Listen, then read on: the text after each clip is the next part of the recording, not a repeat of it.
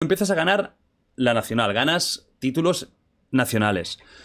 Tienes un nombre grande, eres uno de los grandes de, de- de España y del mundo en español de ese, de, ese, de- de ese ámbito, ¿no? Llegamos a la internacional de 2015, Eso es. que ese es tu titulazo, digamos, ¿no? Cuéntame, ¿cómo es eso? ¿Cómo, co- en- ¿Con qué eh, expectativas llegas? ¿Cómo era el ambiente? O sea, fue muy loco, además es muy épico. Está Sí. el beso, ¿no? El famoso momento. el beso, Hay muchos tío. momentos virales de, de- Sí. de- de ese, Sí, de hecho, de, ahí- o de sea, esa competición. ahora creo que es eh, la segunda batalla de gallos eh, más vista de la historia. Wow. Pero esa es hasta hace creo que un año o dos años. Era, era la batalla de gallos más vista. Es un momento mítico. Más vista de la historia, la del beso con de toque. Sí, sí, Eh, claro. Bueno, yo, yo llego ahí. Y le quitas la gorra. Sí, sí, le quito la gorra en el escenario, es un batallón. Mi batalla contra de toque. Eh, yo llego allí, tío, sin ser el favorito. Sin ¿Quién ser era el, favorito? asesino. El- bueno, la, el- la- la- la leyenda, podríamos decir. eso ¿no? es. Luego te haré mojar, ¿eh? Los mejores de la historia. Ah, luego te haré mojar, me ha asustado. digo, digo, ¿qué, qué, qué más? Nacho, apaga cámara ahora mismo. Empieza el show de verdad, amigo. Luego te haré mojar, a toma por culo. Eh, ¿Qué te estaba diciendo yo? Lo de asesino. Eso es, él, él era el favorito. Eh, joder, además eh, se ir allí a Latinoamérica, tal, yo no iba como con mucha confianza en mí mismo.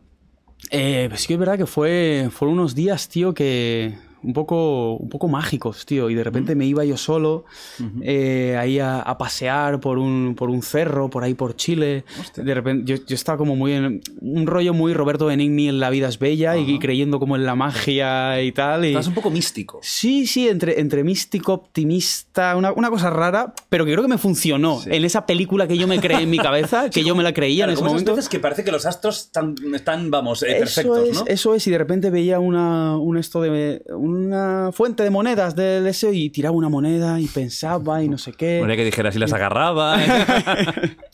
Va a volver. Y así pude contratar un sicario para que le pegara asesino el día de antes. Para debilitarlo. No, eso, no sé, tío, como que me tiene una película que a mí me sirvió a nivel, a nivel mental.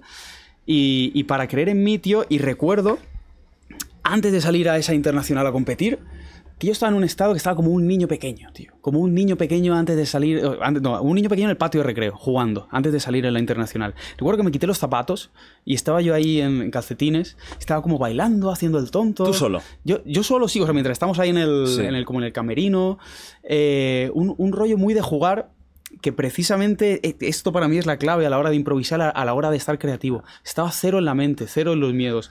De hecho, en la guay. primera batalla, que era una batalla como de para hacer los emparejamientos, que no era eliminatoria, me toca asesino, el favorito. Yo salgo, empezamos a hacer la batalla, empezamos a hacer la batalla, tal, y, mm, y le gano. Y le gano. Y eso ya es el, el- para mí ya es el subidón máximo, ya tengo cero miedos. Y yo creo que el hecho de llegar en ese estado es lo que hace que la siguiente ronda era contra de toque. Yo, sé que se me ve. Tengo una actitud tan juguetona. Es una locura esa Tan batalla. juguetona, tan de venga, vamos, dámelo. ¿Qué? ¿Con qué vamos a jugar? Y, es, que es como ver una película esa batalla porque es la contraposición de él, que era el tipo duro, calle, no sé qué, contra el niño pequeño, que te lo está jugando todo, y de repente él se me encara, rollo, eh, tú, ¿qué pasa? No sé qué. Y yo en ese momento, te- mucha gente me dice, era una estrategia, estaba Claro. planeado, que va, ni lo pensé. Dije, pues tengo, estaba cerca, pues le di un besito en la boca y... O sea, y le, llegaste a conectar. Claro, hubo, hubo ahí una conexión. Conexión, ¿eh? Sí, sí, sí. No sé si hubo- le moló mucho esa conexión, ¿eh? no, le, no le moló nada. O sea, Luego fue- en, en entrevistas ha dicho que luego quería pegarme. O sea, no que realmente no, no. Él ahí se tiene que hacer el ofendido, pero le ofendió de verdad. De verdad, de verdad. Luego estaba sin hablarme. Llegas a la final. Llegó a la final, tío. Claro. Me tocó. Siguiente ronda contra Asesino otra vez en semifinales. Tela. Que lo habías ganado Sí. no hacía nada y. Y le, y le gané. Y Y le gané otra vez. De las batallas más duras de mi vida. Dieron como dos réplicas, tal. Y le gané. Y luego en la final me toca, para colmo, con el, con el chileno. Estábamos en Chile, el chileno. No te no podía sé pasar nada más, ¿eh? No, tío, habían como 12.000 personas de público. De hecho, ves el vídeo, tío, impacta mucho. Todos animándole a él, con bengalas ahí y tal. Es Latinoamérica, esa pasión que Sí, tienen, ¿eh? tío. Empiezo yo. No, sé- no, empezó él a rapear. Empezó a rapear, le gritaban todas las rimas. Tal, vete de vuelta para España, niñato, comercial, no sé qué. Tal, era como muy rapero.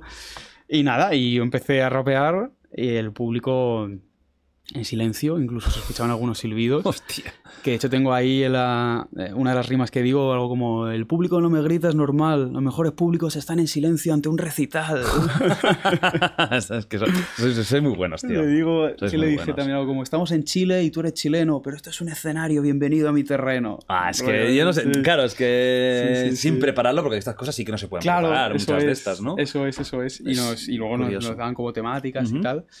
Y joder, claro, es como, ya sabes que vas a tener a todo el público en contra, intenta... De hecho, el final de esa ronda, eh, digo algo como, gracias por el amor, el rap, eh, Chile- gracias Chile por el amor y el rap, Tom Crowley es mi hermano, represento paz, rollo. Vamos a intentar aquí Sí, ¿no? aligerar un, Eh, poco, sí. un poco el tema. Pero sí, tío, yo de hecho creía, porque veníamos de todos los años atrás, siempre había ganado la final internacional de Red Bull Batalla en local. Vale. En local. Sí, el y, yo creía, ganaba. y yo creía que iba a ganarme él en la final. De hecho, se ve cuando me levantan la mano, rollo campeón del mundo, como tengo una expresión de sorpresa genuina, de algo como... Sí, sí, que no ¿Qué es lo típico que te haces dices? sorprendido, aunque. No, no, no, no. O sea, yo sentía que lo había hecho muy bien y en mi cabeza estaba como, bueno, si estuviéramos en otro país me darían ganador a mí, pero estamos en Chile, así que va a ganar él, que es muy bueno, pero bueno, que yo consideraba que en esa batalla lo había hecho yo mejor. Ujú. Y me dieron, me dieron, me dieron ganador a mí. Es uno de los momentos más épicos de tu vida. Sí, tío. Ese Sí. momento, ¿no? Ese levantamiento. Buah, recuerdo, o sea, de hecho recuerdo en ese momento creer que me iban a matar. Ah, porque el público se volvió hostil. Estaba hostil durante la batalla, pero era más mi cabeza que otra cosa, porque, o sea, yo recuerdo salir corriendo y además que me llevaran corriendo, por no sé a dónde puto cuarto me, me iban a meter.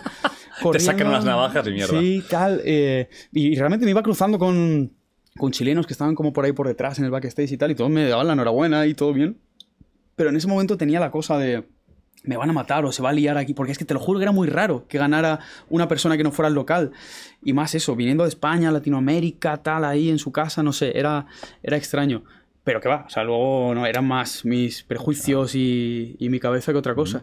Y recuerdo que me metieron en la sala, me paré, empecé a llorar, empecé a llorar, a llorar, a llorar, a llorar. Y me pusieron eh, Stefan de Red Bull, vamos, un, un grande, un amigo mío, eh, me puso el- al teléfono con mi madre. Y empecé a hablar con ella. ¡Ay, ¡Que he ganado! tal". Y mi madre, lleva cuidado, lleva cuidado, que había llevado con bengalas y no sé qué. Y yo, no, mamá, todo bien. Sí, sí. Qué bonito. Sí, sí, sí.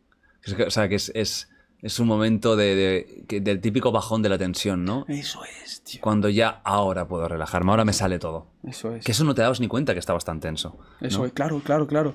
Y como, y precisamente como estaba en ese estado que no estaba tan en la mente, que estaba, mm, estaba, tío, simplemente conectado con, con la rima, con los estímulos creativos, con todo eso, eh, pues no, no te das cuenta. Hasta que acaba todo y dices, ¡buah! Y además, eso que vaya camino, tío. Eso era asesino de toque, asesino otra vez, luego el local.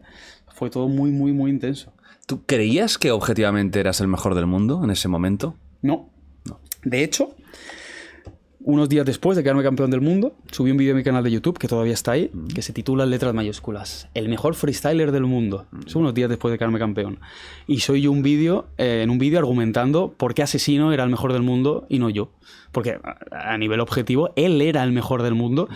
De hecho, en nuestra batalla de ahí hay un momento en el que entro yo mal en la base y, y era un 4x4 y él lo corrige cuando le toca entrar. Como que lo corrige mi cagada y yo desde, desde- cuando me toca entrar a mí le, le- me atre- me- le digo yo pensando, has entrado mal en la base, no sé qué. Y él nos había arreglado la cagada a los dos. Claro, luego lo vi en los vídeos y dije, tío, tengo que hablar de esto. Claro. Y soy yo hablando Este de es esto.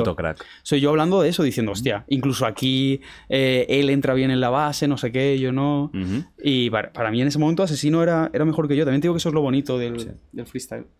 Sí, pasa un poco incluso como los deportes de combate o la MMA, que el mejor en un, en un mal día, en un mal golpe puede caer. Y es el mejor, pero le dan un buen derechazo, no se lo esperaba, cao y, y se acabó.